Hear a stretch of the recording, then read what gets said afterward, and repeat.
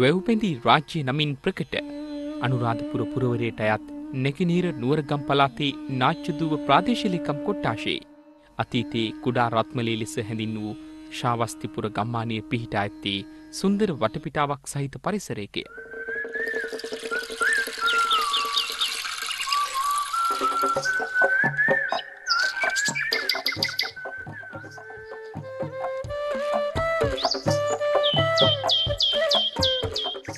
තුරුලතා මෙන්ම ගිරි කුළුවලින් සමන්විත මනස්කාන්ත එම පරිසරය වෙහෙර බැන්ද කුටිය රජමහා විහාරස්ථානයෙන් තවදුරටත් වර්ණවත් වෙයි.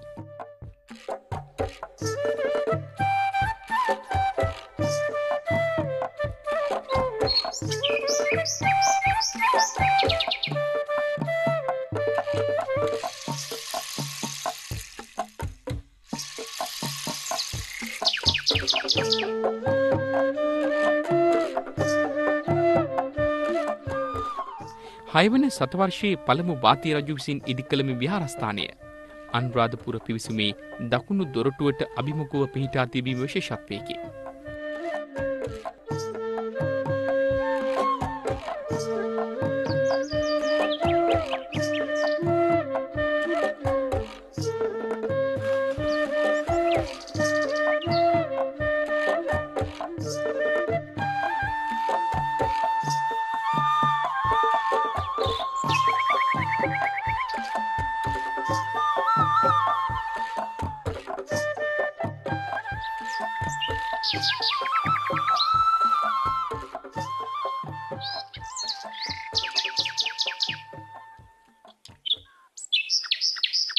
ජෛව විවිධත්වයක් උසුලන මෙම් පරිසරේ ගල්කුටි ගල්කුළු තුරුලතා මෙන්ම පොකුණු රැසක්ද පිහිට ඇත.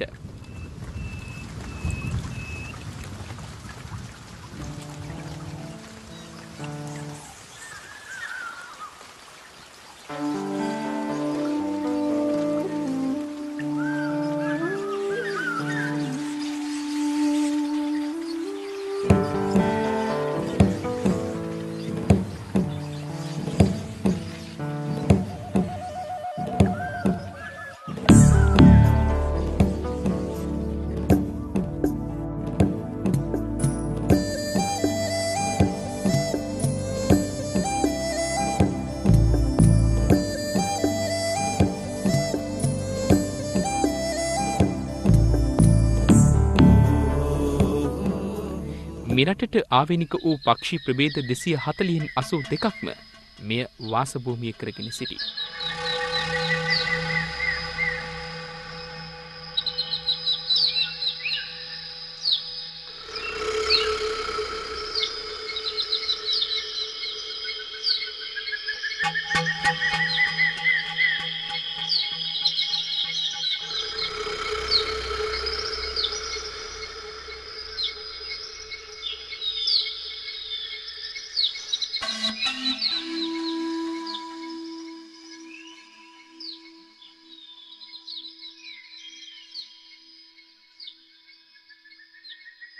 ජලජ ජීවින් මෙන්ම ජලජ පැලැටිට ගර්ම කලාපයට ආවේනික ශාක රැසක්ද මෙම භූමිය තුළ දැකගත හැකිය.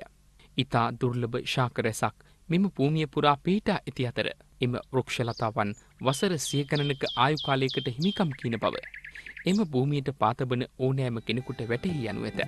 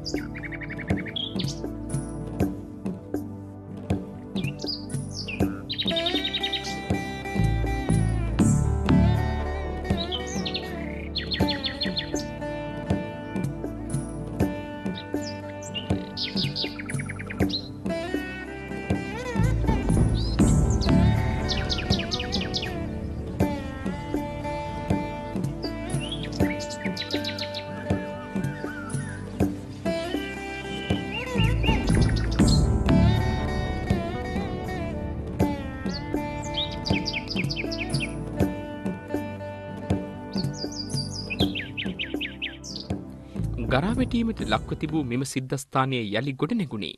වර්තමාන විහාරාධිපති පූජ්‍ය වැලිසර ජිනවංශතිස්ස සාමීන් වහන්සේගත් මහත් උත්සාහයක ප්‍රතිඵලයක් වශයෙනි. පොඩි පොඩි කුටිමේගේ යම් යම් කාලවල ඇතිවෙලා වික්ෂූන් වහන්සේලා හිතපු නිසා මේ මනස් ගණම්වල ඉඳලා විටින් විට ඒ කුටිය කියලා නමක් මේකට ඉදිරිලා විහෙර බැන්ද කියන එකට මේ කුටිය කියන එකත් එකතු පාදා වෙලා විහෙර බැන්ද කුටිය රාජමහා විහාරස්ථානේ නමින් තමයි මේක දැන් ප්‍රසිද්ධ වෙලා තියෙන ශ්‍රාවස්තිපුර තමයි මේක ප්‍රධාන ගම ඒ ශ්‍රාවස්තිපුරට සම්බන්ධව තියෙන කිඹුලාකඩත් වදාකඩත් එවගේම රඹවැවත් මේ පන්සල පිහිටි ගල්වඩුවා ගමත් මේ පන්සල අවට තියෙන ඒ කුඩාරත්මලේ පැරණි ගම්මාන හැටියට තමයි දැනටත් පාවිච්චි වෙන්නේ විවාහරේ පවතින.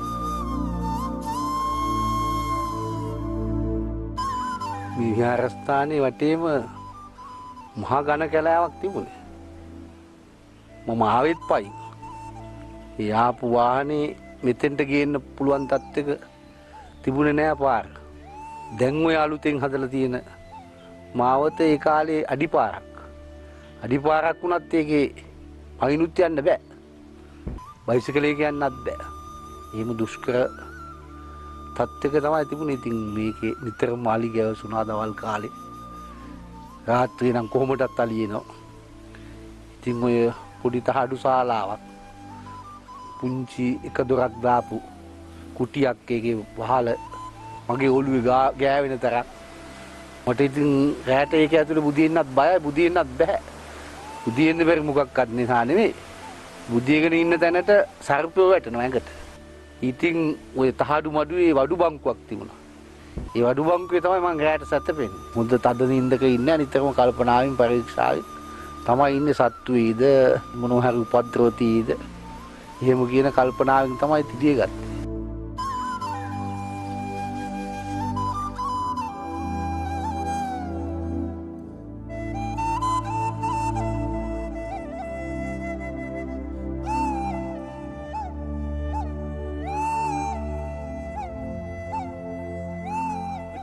ටික ටිකින් ටික මොම් පාරට බැහැලා දෙන්නෙත් තුන් දෙනෙක් එකතු පහදා කරන ඒ පාර මම්ම හදන්න ගත්තා.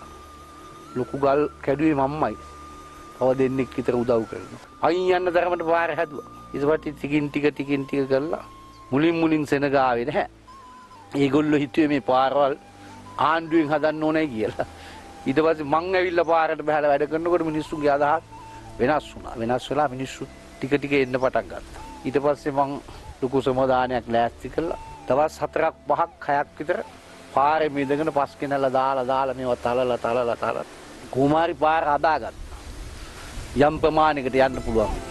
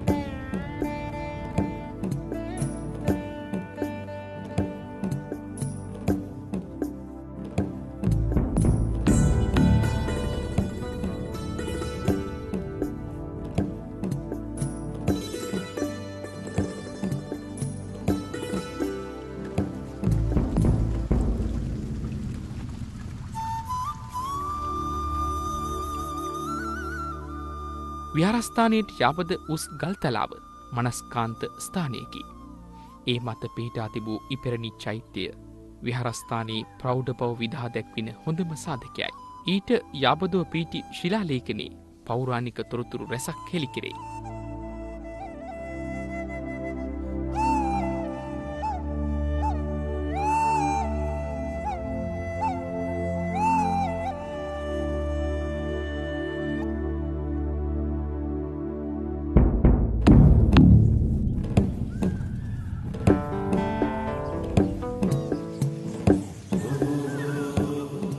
ඉතිහාසය ගැන කියනකොට ඉතිහාසයේ මිහිඳු යුගයටම දියන බව තමයි පේන්න තියෙන්නේ. මොකද මිහිඳු මහරහතන් වහන්සේ වැඩියම මිහින්තලා පර්වතයේ පළමු කොටම භික්ෂු මහා සංඝයා වහන්සේට ලෙන් 68ක් අටසැටලෙන් සකස් කළා. අපේ දේවානම්පිත මහ රජතුමා. ඊට පස්සේ ඒක මදි වෙන අතරෙම එම කාලෙම මේ විහාරස්ථානයට එන මාවතේම වගේ තමයි තියෙන්නේ වෙස්සගිරිය කියන. වෙස්සගිරිය කියන තැන ගල්ලෙන් සකස් කළා. ඉතින් වෙස්සගිරිය ඉඳලා මෙතෙන්ට තියෙන්නේ හරියටම කෙලින් බැලුවොත් හැතම්මක් කමාරක්. ඒ කාලේ ওই හැතම්ම මහ ලොකු එකක් නෙමෙයි. කොහොම හරි භික්ෂුන් වහන්සේ මෙතන කඳු මුදුන්ටත් ඇවිල්ලා තියෙන බව පේනවා. දැනටත් කටාරම් කොටපු ගල් වෙනක් තාම පැහැදිලිව තියෙනවා මේ හරස්ථානේ. තවත් කටාරම් කොටපු පොඩි පොඩි ගල් පියසි තියෙනවා. ඉතින් උන්වහන්සේලා මෙහි වැඩ හිට බව තමයි පේන්නේ මුල් කාලෙම මිහිඳු යුගයේ. ඒ ශිලාලේඛනය ඇතුළත් වෙලා තියෙනවා කුඩා රත්මලේ වෙහෙර බැන්දගල පර්වත ලිපිය කියලා. මේ ලිපිය නිසා මේ ස්ථානේ බොහොම වැදගත් වෙනවා. ඒ ලිපිය කියවෙන්නේ ඔය නක්ඛගම හිටපු රජුවන්ගේ ආරක්ෂක සේනාධිපතිතුමන් මේ විහාරස්ථානයේ වැඩ සිටි මහා සංඝ රත්නයේට දානය අඩු වුණොත් ඒ දානේ සකස් කර ගැනීම පිණිස රන් කහවණු පූජා කළා කියලා තමයි ඒකේ සඳහන් වෙන්නේ. මේ පින් සියලු සත්නට වේවා කියලා ඒකේ සඳහන් වෙනවා. ඉතින් එතකොට ඒකාන්ත වශයෙන්ම පස්වෙනි සතවර්ෂය හැවෙනි සතවර්ෂේ මහරහතන් වහන්සේ වික්ෂු මහා සංඝයා වහන්සේ මෙහි වැඩ සිටපු බව සනාත වෙනවා. ඒ ශිලාලේඛනේ නිසා. ඉතින් පස්සේ 12 වෙනි සතවර්ෂය දක්වා අනුරාධපුර රාජධානියේ බිඳ වැටෙනකම් මේක රමණීය විහාරස්ථානයක් හැටියට රමණීය විහෙරක් තිබිච්ච විහෙර බැන්ද ගල පර්වත ලිපියේ පිහිටි විහෙර බැන්ද රජමහා විහාරය හැටියට මේක ප්‍රසිද්ධ වෙලා තියෙනවා.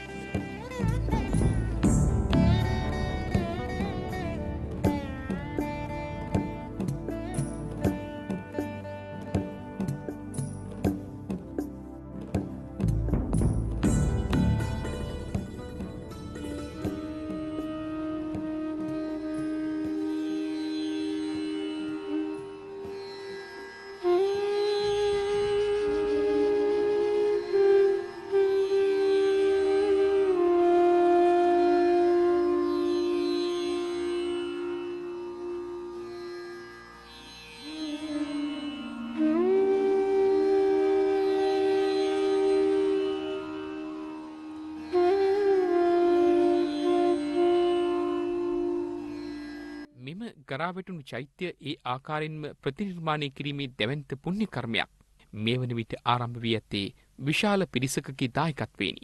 සැලසුම් සහගතව ස්වාභාවික පරිසරය ආරක්ෂා කරමින් පරිසර හිතකාමි ලෙස ඉදිවන මෙම චෛත්‍යය.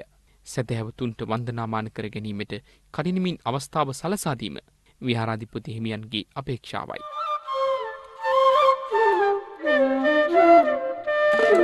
Thank you.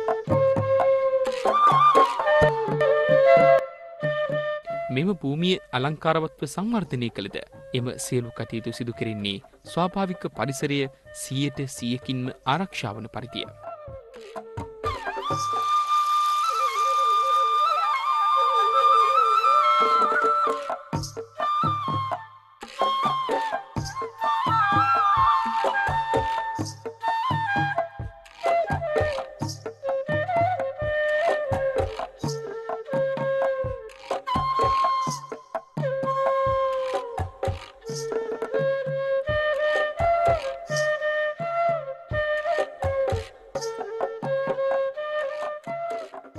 මම්මාවත් මෙහෙම දියුණු කරලා සකස් කළාට ඒ පරිසරය ඊටාම දිවිහිමියෙන් අපි මේ පරිසරය ආරක්ෂා කරනවා. මේ විහාරස්ථානයේ විශේෂයෙන් කුරුළු වර්ග 82ක් ජීවත් වෙනවා ලංකාවේ ඉන්න 340ක් අපට ආවේනික පක්ෂී. ඉතින් ආචාර්ය චන්න බමරදෙනිය මැතිතුමන් දැම ඔහු තමයි මේකේ මේ වාර්තාව සකස් කරේ විහාරස්ථානයේ නැවතී සිටිමින් ඒ විහාරස්ථානයේ බොහොම නිශ්ශබ්ද නිහඬ පරිසර හිතකාමී විහාරස්ථානයක් හැටියට පවත්වගෙන යන්න මහන්සි ගන්නවා.